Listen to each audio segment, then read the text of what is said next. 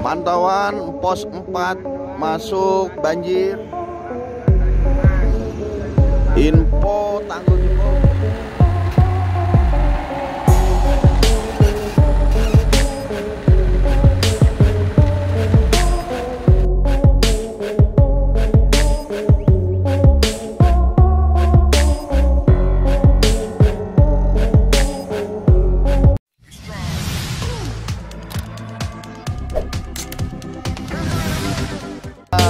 Satu kedalaman satu ban truk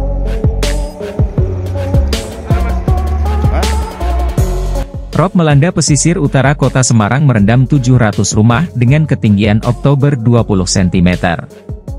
Ratusan keluarga itu tersebut berada dalam 9 RT di RW 15 Tambak Lorok Kota Semarang. Pemkot Semarang bergegas mencairkan bantuan sosial tak terduga, BTT, untuk meringankan korban, Jumat, 2 Desember 2022. PLT Wali Kota Semarang Heve Arita Gunaryanti Rahayu yang meninjau lokasi terdampak rob mengatakan, BTT akan segera dicairkan. Dibagikan ke korban terdampak seperti saat banjir bandang di wilayah Ngalian dan Tugu.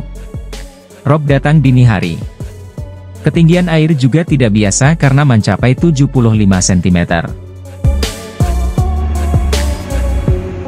Pantauan pos 4 masuk banjir info tanggul.